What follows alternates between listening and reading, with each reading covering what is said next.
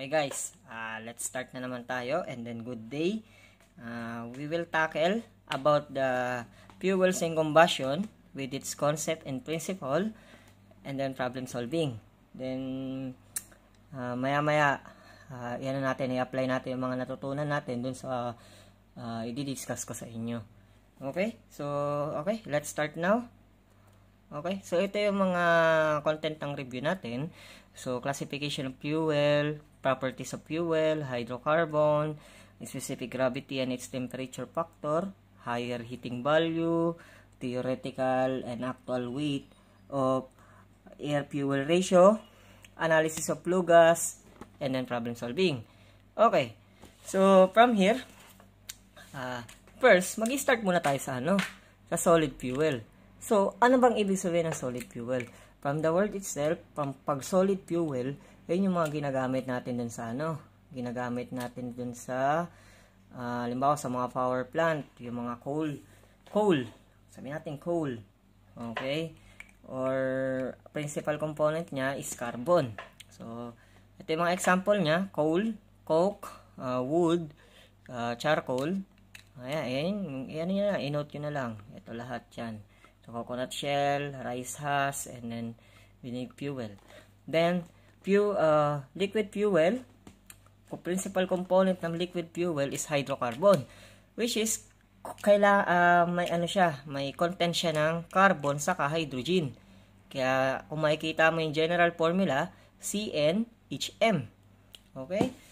Uh, so ito, ginagamit naman to yun dun sa mga ano, ito yung mga petrol ginagamit natin. So sa power cycle madadaanan natin to, yung mga ano na to, itong liquid fuel na to. Ginagamit natin sa gasoline, kerosene, diesel, uh, alcohol, and other fuel that uh, that are considered as a liquid fuel. Okay?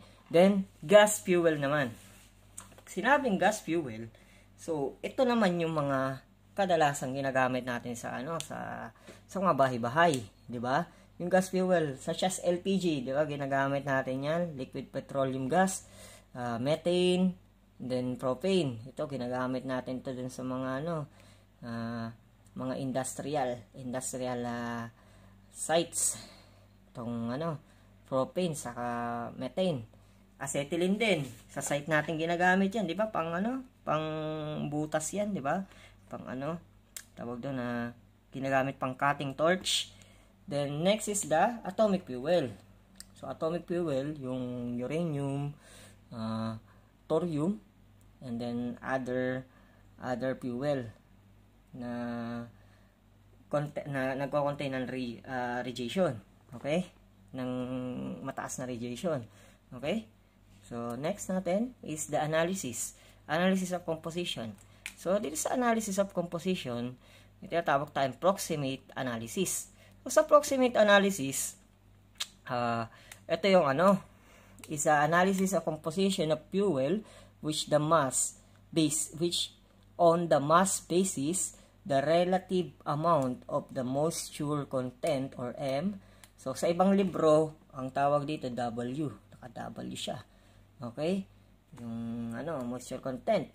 Then volatile matter, then fixed fixed carbon and ash.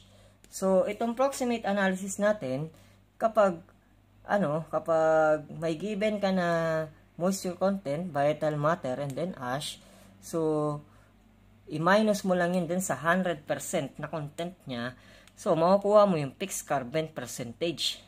Okay? So, yun lang yung ano natin, example natin dyan. So, assume natin ito. Moisture is determined by drying a 1, 1 gram of sample at 100, 105 degrees Celsius for 1 hour. The weight loss is expressed in percentage weight. So, ito yung formula niya. Okay? So, M percent is equal sa weight loss. So, kung ano yung nawalang ano, weight niya. Okay? Over the original weight or weight sample times 100. So, yan yung moisture natin. Moisture content natin dyan. Okay? Then, next is vital matter. Ito naman yung ano, tinatawag natin na weight loss obtained by heating. So, heating siya.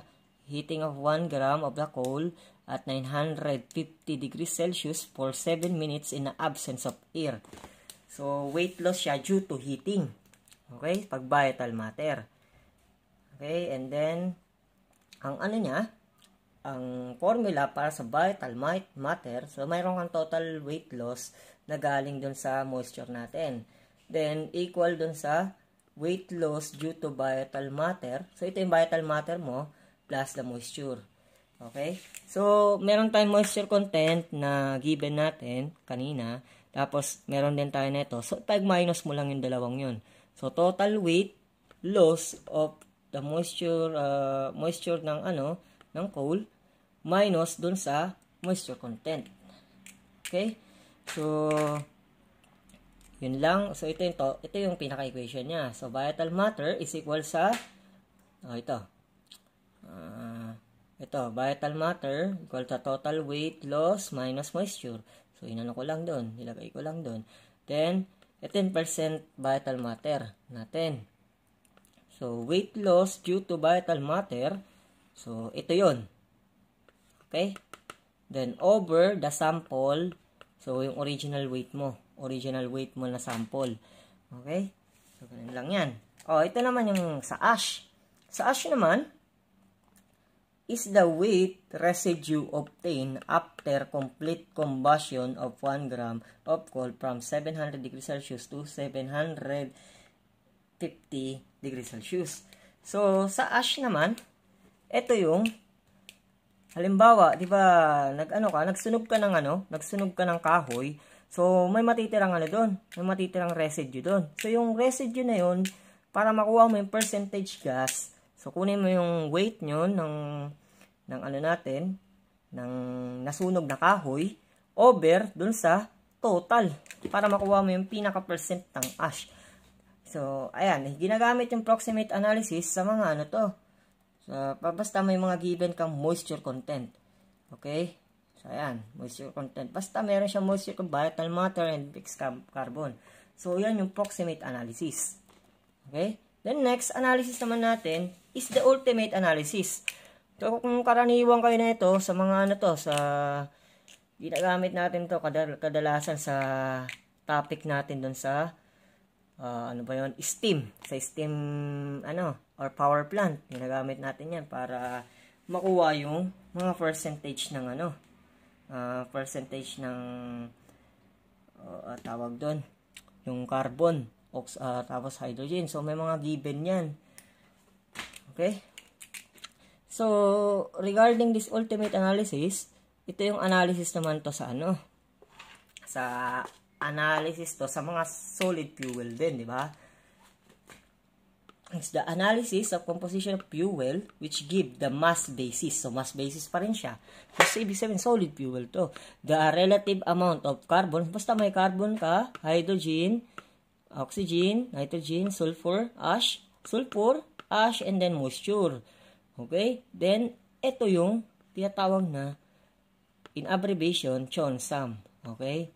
CHONSAM. So, ito yung mga usually val usual value ng carbon natin. From 83 to 88. Then, each natin from 10 to 13%.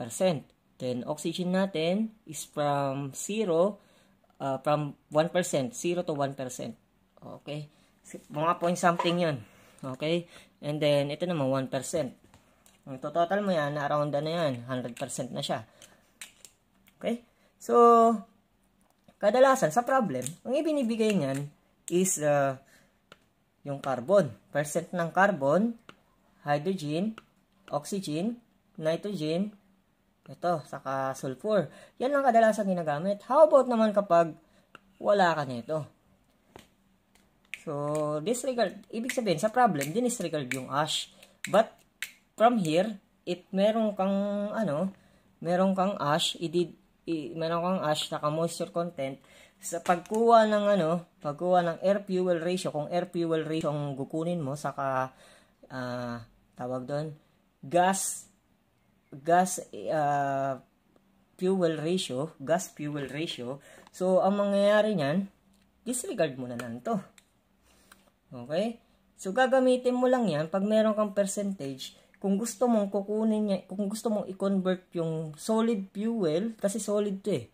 From solid fuel to ashless, and then, kukunin mo yung ashless. Siyempre, kukunin mo yung pinaka-content ng ashless. So, i-ano natin yan. Okay. So, pakita ko muna. Okay. So, given tayo, assume natin na meron tayong given na carbon, hydrogen, saka oxygen, nitrogen, sulfur, ash, and then moisture. So, total of 100% to. Okay? So, to get the ashless, ito, may ash to, di ba? Ash. So, to get the ashless of this uh, component, of this uh, sample, so, ang gagawin mo dyan, is ililes mo to ililes mo tong ash na to. So, tatanggalin mo yan. So, from here, ashless na siya. Ashless. So, from here, ang magiging formula mo dyan is percentage ng o, uh, carbon dioxide natin, ay carbon tuloy, carbon. So, carbon percent over this ash. So, 1 minus the percent of ash. Okay? And then, you will get, so, kunin natin, so, 81%, 81% ng 1 minus 1.5%. So, therefore, meron ka ng panibagong value. So, 82.3% na siya. So, yung ash content doon is napunta dun sa carbon natin. Okay? So, hindi pa siya, ano, wala pa siyang ash. So, therefore, sa H naman, so, lagay lang natin dito, palitan lang natin value to. So, 9, ay 9, 9 tuloy. Ano yan? Uh, ah, 4% yan. 4% ba to? O ano? ano ata to 4% ano pala to? Uh, ah, 9% to 9% so lagay lang natin dito. 9% 1 minus 1.5% so ang makapagiging value mo panibago is 9.137%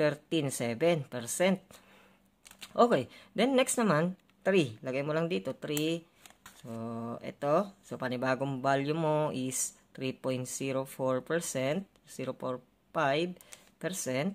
Then sa nitrogen naman, so lagay mo lang yung 2.5 na value. Okay? 2.5 na value. So therefore, ang magiging value mo is 2.538%. And then sa S naman, sa sulfur, so lagay mo lang yun dyan. Ganun lang, 2. 2%. So, 0.20, mali, mali.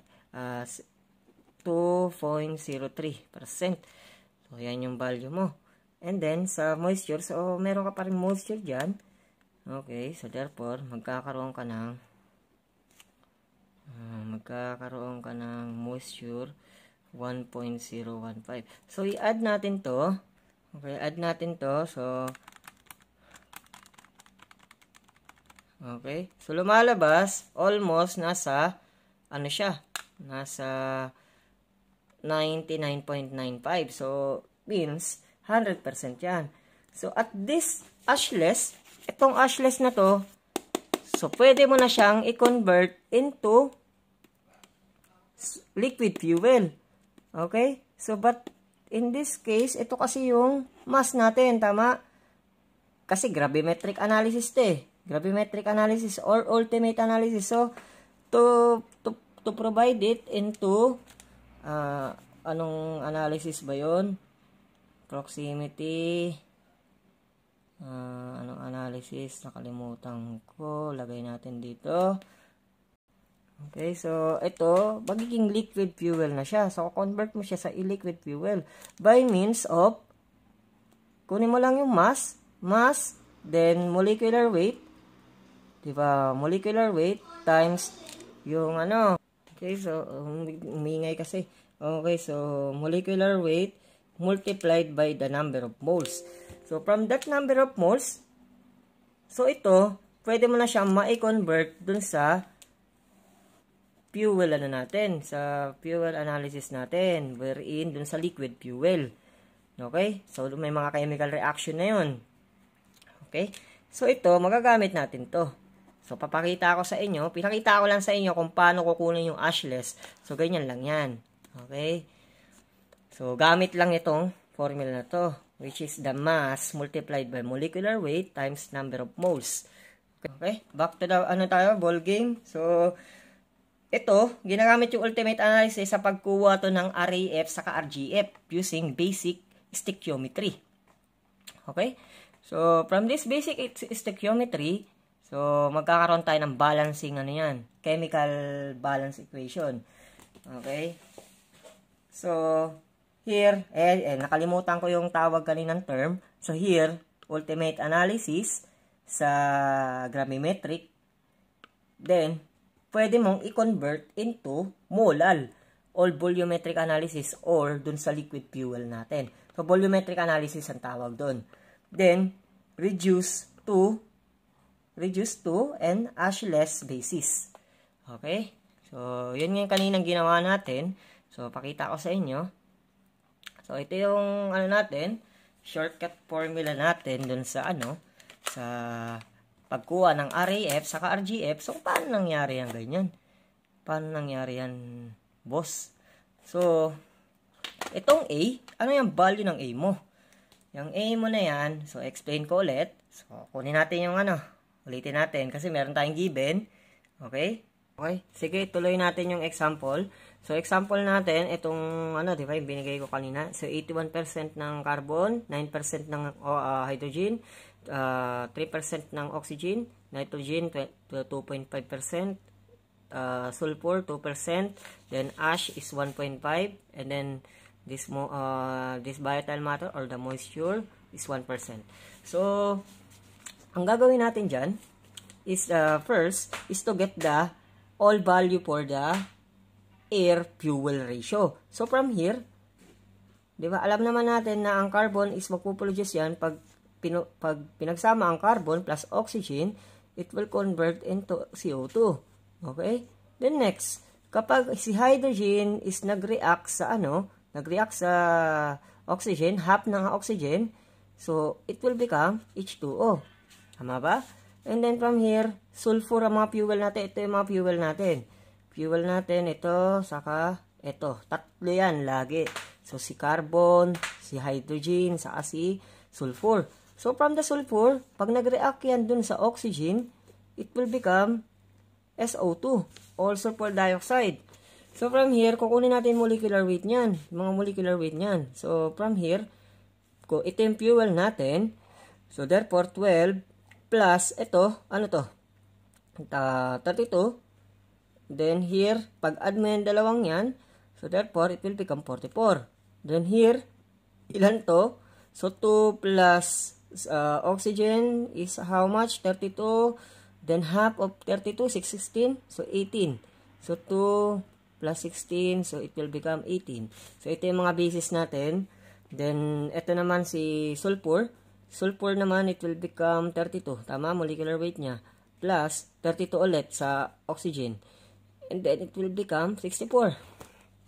Okay, from here, first, kukunin natin yung uh, RAF. So, REF which means air, ito yung air natin and then fuel. Then here, numerical, air, fuel. So therefore, kung air fuel yan, so lagay natin dito, ito yung mga air fuel natin na kakailangan, which is the value of A dun sa equation natin kanina. So A, it will become 32 kasi air fuel.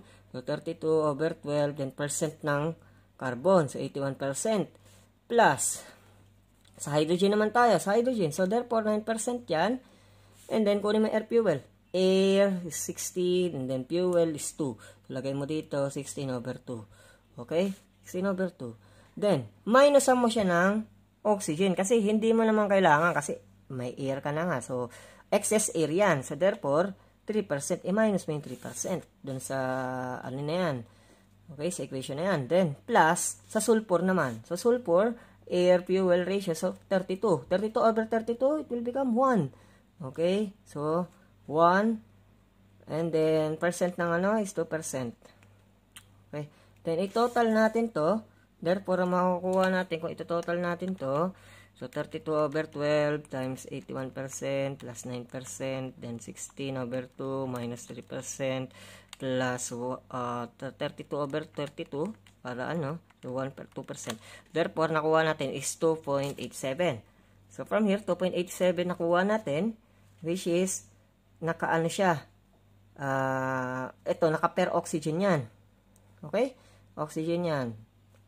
Okay, so, ayan muna yung unit niya. So, mamaya natin ilagay yung unit. Then, sa R, R, GF naman tayo, which is sa B.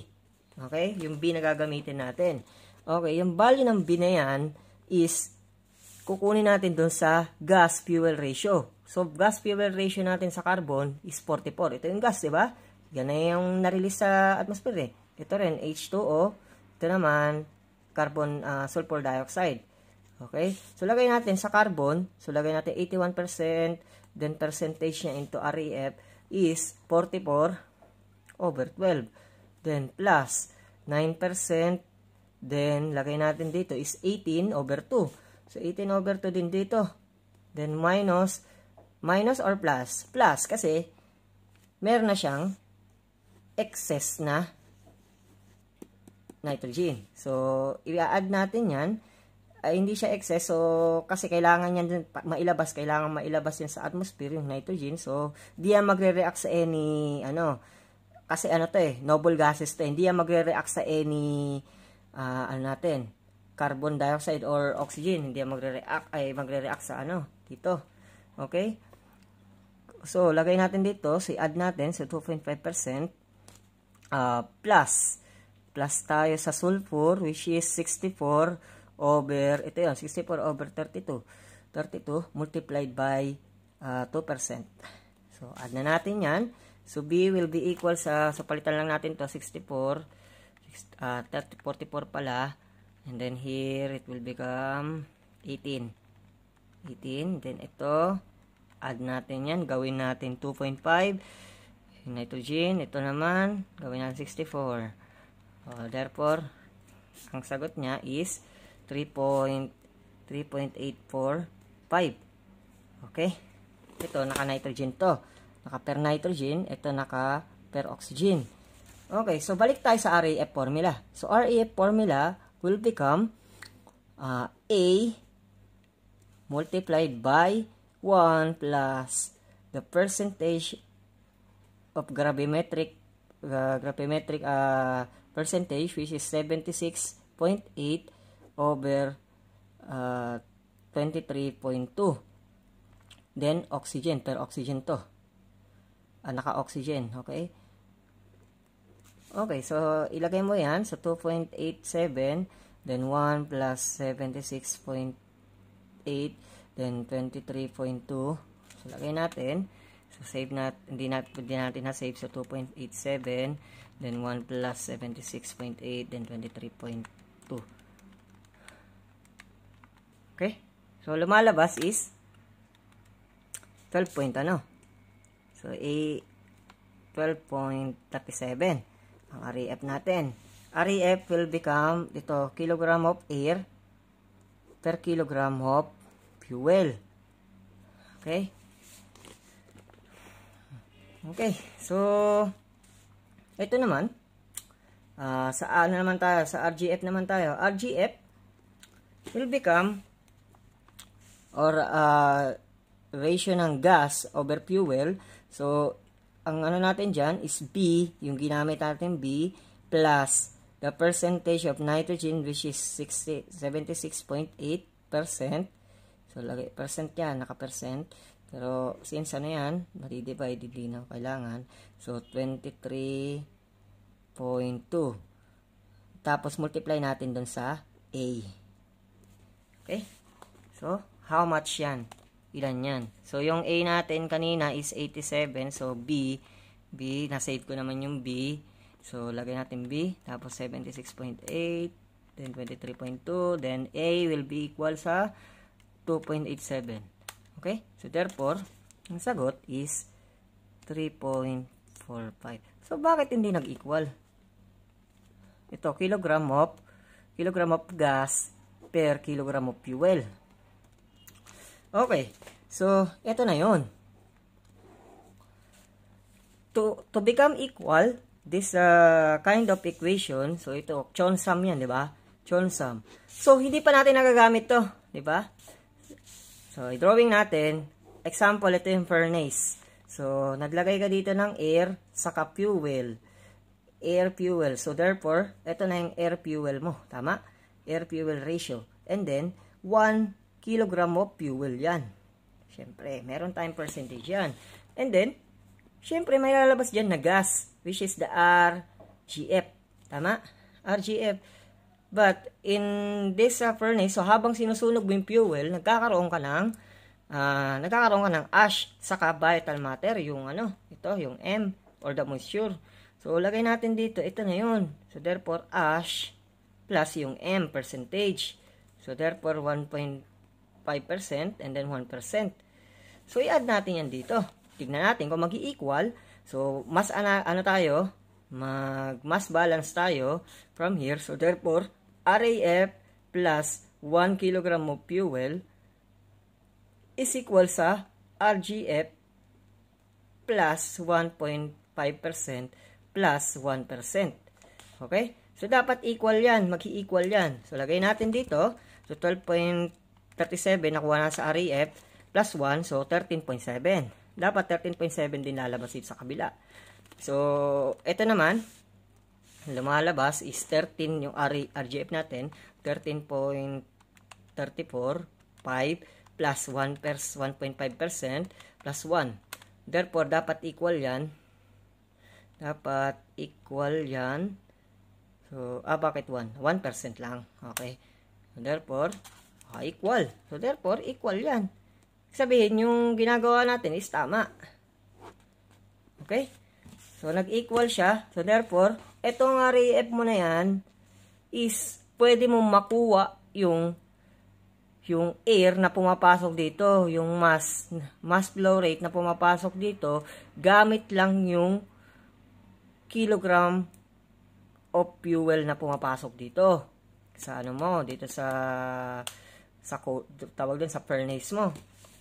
So, halimbawa, meron kang given, ang given mo is uh, kilogram per, ano siya, uh, kilogram of fuel per second. So, ibig sabihin, makukuha mo yung kilogram of air per second. Okay? So, yan yung ibig sabihin yan. Ito, mahalaga to sa pagkuha sa ultimate analysis. Okay? So, ito lang, tatandaan lang tong formula na to. Okay? So, derivable formula na yan. Saka ito. Okay? So, ano yan? Naka-quantity yan dito, ha? So, B plus percentage ng nitrogen over percentage ng oxygen in atmosphere. But this one is for the gravimetric, ha? Tatan gravimetric to, ha? Magkaiba yung dun sa volumetric. Okay? Okay, so proceed na tayo dun sa ano, sa topic. So ayan, tandaan nyo lang yung formula na yan. So shortcut equation, so derivable yan. Na-derive na yan dati pa. Okay. So ito yung example ng ano natin. So yan yung in-explain ko kanina. So kunin mo yung ashless, gumagamit na ito. And then, so, uh, kunin mo yung sa molar ano, molar form. Ito na yon In terms of molar fraction na siya.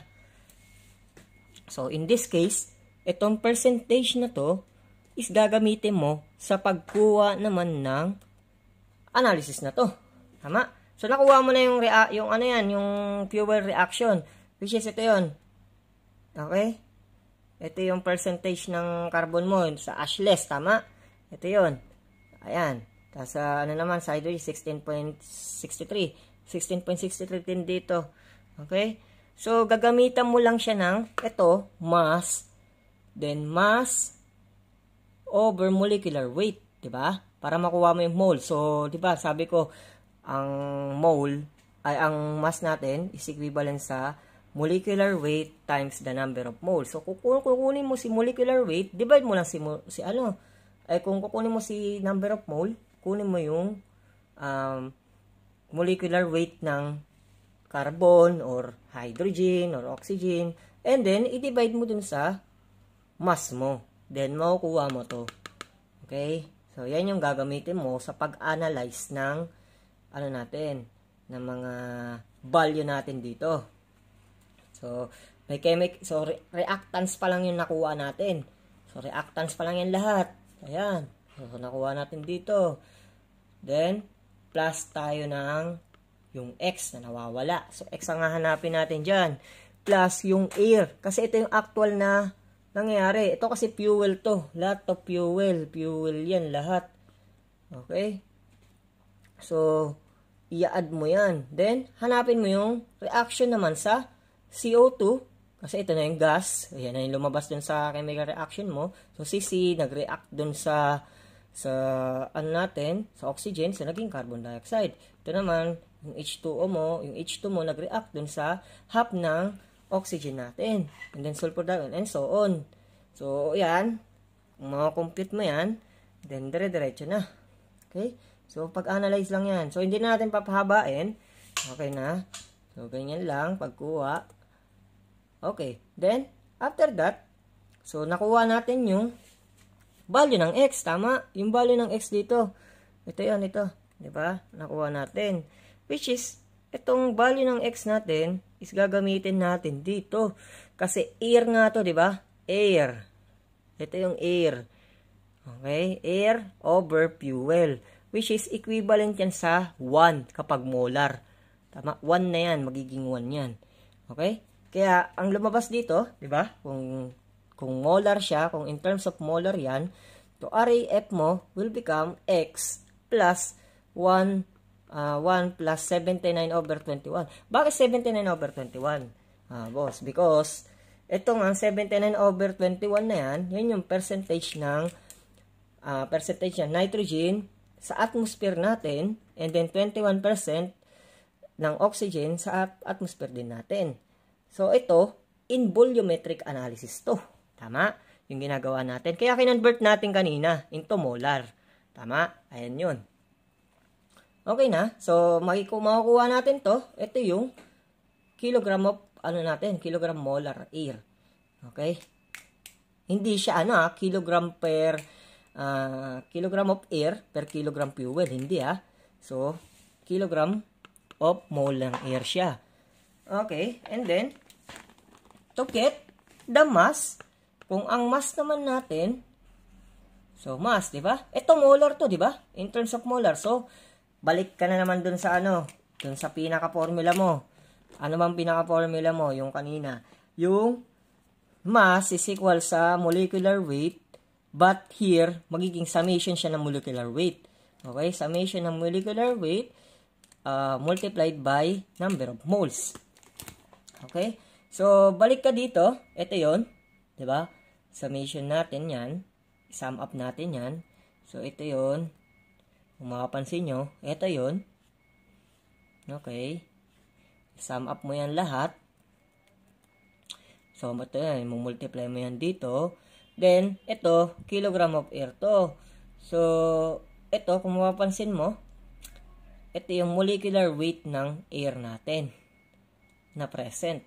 Okay? So, nakuha yung 28.96 na yan dun sa ito, percentage nito. So, kung explain natin, medyo ano yan, medyo matagal yan. So, sige, try lang natin paano nakuha yan. Okay? So, dito siya nanggaling. Nanggaling siya dito lang sa formula na to. ba? Ang sabi ko, mass is equal sa molecular weight times number of moles. So, kukunin natin to, molecular weight. So, but here, summation siya. Okay? So, ibig sabihin, ibaba natin to. So, divide both side by molecular weight. Okay, so ito, punta natin doon. So, molecular weight, so, equivalent sa mm, mass over N. But here, balik rin natin to. So, therefore, 1 over molecular weight is equal sa, ano siya, ma, uh, number, uh, number of moles over mo mass. Okay, so from here, kunin natin summation yan. Summation. Yung summation nito. So, therefore, 1 over molecular weight, summation siya, is equal sa N1, M1 plus M2 kasi dalawa lang naman tayo. Dalawa lang naman yung given mo. Tapos M1, M2. Therefore, ano yung molecular weight mo? Which is equal sa 79% sa nitrogen, tama? And then, mass or atomic mass niya is equivalent sa ano? 20 uh, ah, 28. Okay? Plus, 28 point something yan. Mga ano. Pero, in-approximate lang natin. So, ito, magiging, ano to? So, thir uh, 21 over yung M mo, which is equivalent yan sa 32. Tama ba? 32. And then, after nyan, kunin mo yung 79% over 28 plus 21% over 32. Then, okay, nakuha mo na yan. Okay, but ito, napapansin mo, naka-inverse siya. So, therefore, inverse mo rin to para makuha mo yung total molecular weight. So, therefore, ito yung molecular weight ng air. Okay? So, 20, 28.75. Or, but here, dito sa nakuha natin, is, kasi may, may, may point something pa kasi yan eh. So, kaya dapat magiging 28.96. Okay? Or sa ibang ano, sa ibang term, ang ginagamit nila dito yung yung ano, percentage ng ano sa gravimetric siya. So 76.8%. So medyo malapit 'yan doon. Doon niya nakuha. So 20 23 ba? 23.2% over 31. So parehas 'yan halos nasa ano yan 28.8 something. Okay, kung gravimetric tayo. Pero since ito ang kukunin natin is, ano, since ang kukunin natin is yung in terms of mass, so therefore, so therefore, kung mass ang kukunin natin, so ito dapat nasa gravimetric to. Tama? Molecular weight in terms of gravimetric ka. Kasi, ito magka-cancel yan. Magka-cancel to. Okay? Ito magka-cancel din yan. So, therefore, ang makukuha mo dyan, is kilogram of air per kilogram of fuel. So, yan yung RAF. Okay, kung i-study nyo, medyo ano siya, medyo padali lang talaga. Okay? So, next tayo is for the composition tayo ng ano. Parang ano, madilim yung kulay ah. Sige, palitan ko lang. Okay? So, medyo kita na siya. So, ito yung ano natin. Sa type siya ng hydrocarbon. So, sa hydrocarbon, ang chemical formula natin dyan, pagka ano, pagka may ain, may ain na suffix, na tawag natin, so paraffin yan, so chemical formula natin dyan, general formula is CN H2N plus 2, plus 2, okay? Kaya, kung mapapansin nyo, kapag 1 yung N mo dito, so convert natin 1, so lagay natin 1, tapos ito 1 din, so therefore, magiging H4, CH4, so therefore, methane yan. Okay, kapag 2. Kapag ang n mo naman is 2, so 2, then 2 din to, so 4 plus 2, so 6. Okay? So, ethane naman yan. Okay, so yan yung mga ano natin, yan yung mga pattern natin sa hydrocarbon. So, medyo madali lang siyang tandaan. Kapag 1 ang ano mo, is methane. Kapag 2 yung N mo, ethane. Pag 3, propane. Pag 4, butane pentane pag 5, hexane, heptane, and then, ano, octane, decane, de, uh, dodeca, dodecane. Okay, yan yung mga kadalasang fuel natin. Okay, so ang, basta pag may nakita kayong ganitong word, yan, kaya meron siyang ganyan, methane. So, AN, sin suffix. So, paraffin yan. Okay? Then, olefin naman. So, ito naman yung sa olefin. So, yan naman yung may mga, halimbawa, man, nag, nagtatapos siya sa, are, acetylene. Acetylene, uh, ethylene, okay? Or EN. Okay? EN, ayan. So, propane. Okay? Propane. So, may E naman siya. E-N-E. -E. Okay? So, therefore, kung ang 3 mo, kung ang N mo is 3, so therefore C3H6. So 3, C3H6 din dito. Kapag butane naman, butane, so 4 to, ito naman is 8. Okay? So ganun lang yan. So ito naman, diolefin. So sa diolefin, meron kang suffix na dint. Okay? So ito naman yung formula niyan. Ang formula naman yan, CN H2 ay HN minus 2. Okay? So, kung makapansin nyo dito, ito yun, di ba? Butane, so 4 yan. Therefore, C4 8, 6. Okay, kasi may 4 dito. 8 minus 2, so 6. Okay, ganun din yan. Okay, the next is nap naptane. Naptane. So, from here, ito naman yung may mga suffix na cyclo. Prefix pala, prefix, hindi suffix kasi sa unahan. Eh. Sa, uh, ito yon cyclo. So, cyclo, cyclopentane. So, ito yung formula niya. Cyclohexane. So, CnH2n. Okay? So, hindi natin explain yan ng, ano, ng maayos kasi medyo matagal yan. Kaya, kaya naman natin explain yan isa-isa kasi may, ano yan, may structure yan. Meron siyang, ano, chemical structure dito sa mga fuel natin. Okay? Pero, pero medyo mahaba na yan kung explain natin. So, focus lang muna tayo dito. So, ito. Next is the hydrocarbon. So, meron tayong tatlo niyan. Tatlong types ng ano natin, combustion. So, yung pra tatlong process natin sa combustion, yun yung complete combustion, incomplete combustion, and then excess combustion. So, from the complete combustion, dyan nag-occur yung fully oxidized siya. Ibig sabihin, yung ano mo, walang problemang nangyayari. 100% na lahat ng ano, kumbaga, nagagamit yung ano mo, nagagamit lahat ng oxygen mo. Okay? Na-utilize. Kapag incomplete naman, dyan naman yung nagkakaroon ng insufficient. Insufficient naman yung ano niya, yung pag yung oxygen mo.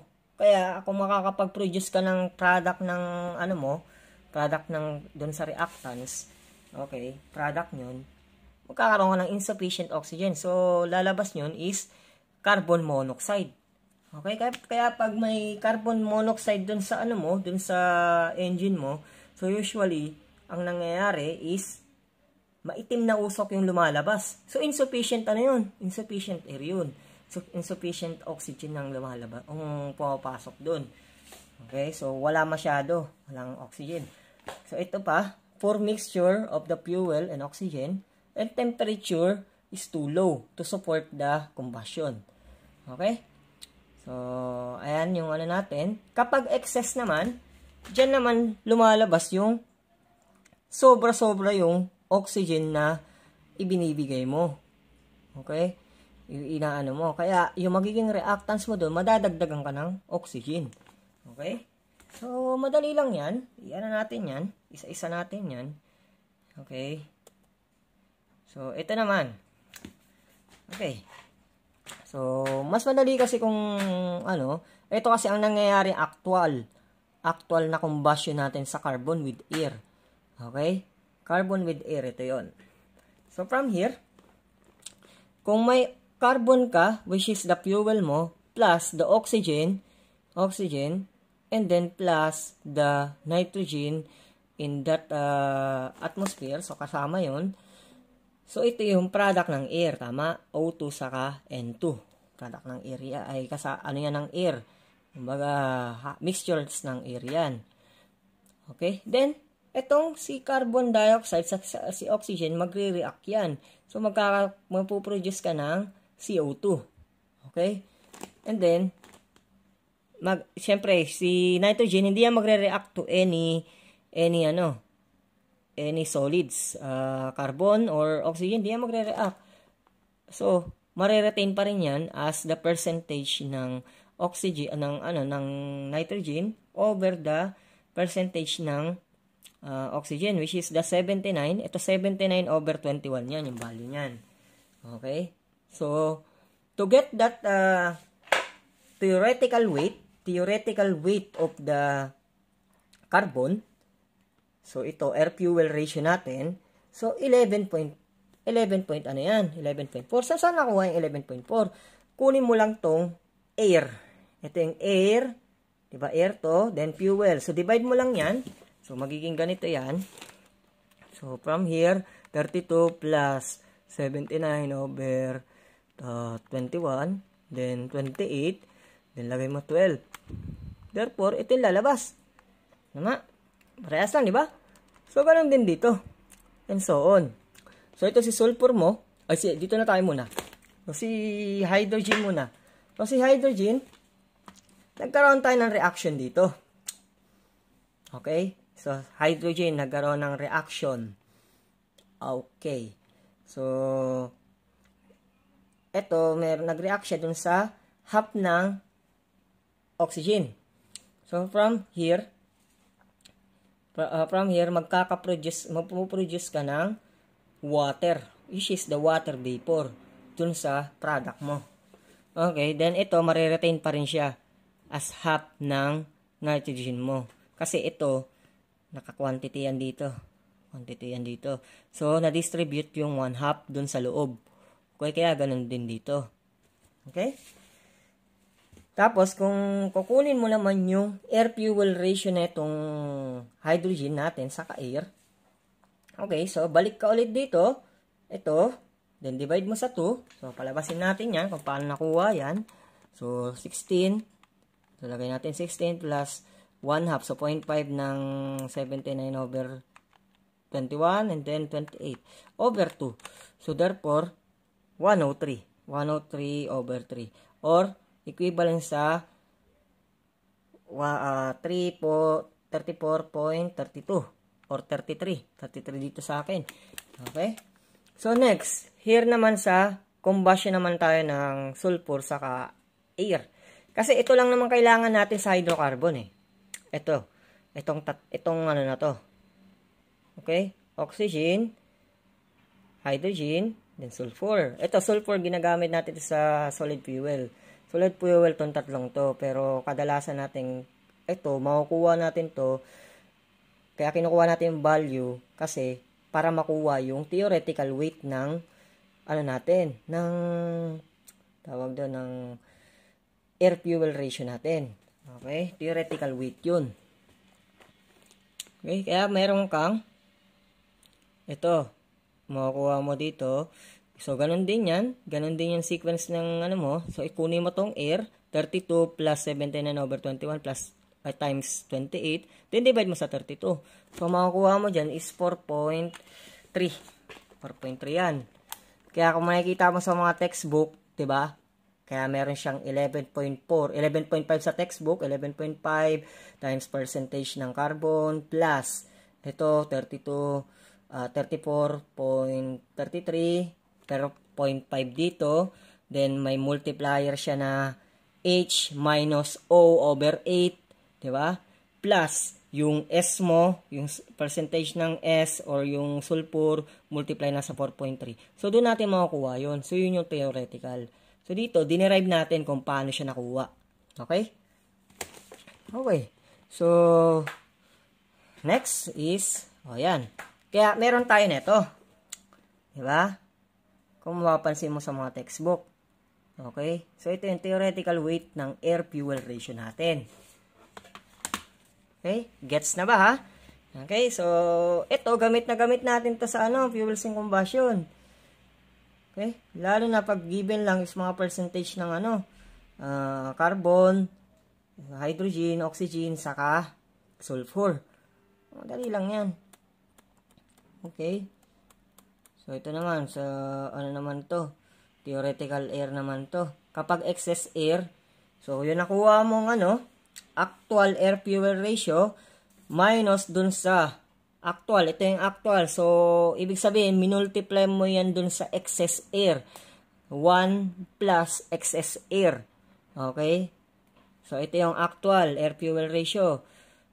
So, kung mapapansin mo dito, ito, ibig sabihin itong actual air-fuel ratio is equivalent yan dun sa 1 plus E multiplied by stoichiometry or the ideal ideal na natin air-fuel ratio natin. Okay? Yung wala pang excess. Tama? So, doon natin makukuha yan. Okay? Okay. So, ito naman, So, i-derive natin yan. So, okay, isa-isa, isa-isa lang muna. So, from here, ito yung ano natin. So, para, ano, so, take a look lang muna. Di-derive natin yan isa-isa kung paano siya nakuha. Okay? So, putulin ko muna tong ano natin. Putulin natin muna tong uh, tawag ng video natin. Tapos proceed tayo dun sa next video, yung derivation na ito. Kasi makakatulong talaga to sa ano natin, dun sa lalo na dun sa mga nag nag ano, nagte-take ng combustion. Okay? So i-derive natin yan isa-isa. Okay? Okay, boss. Thank you. Okay?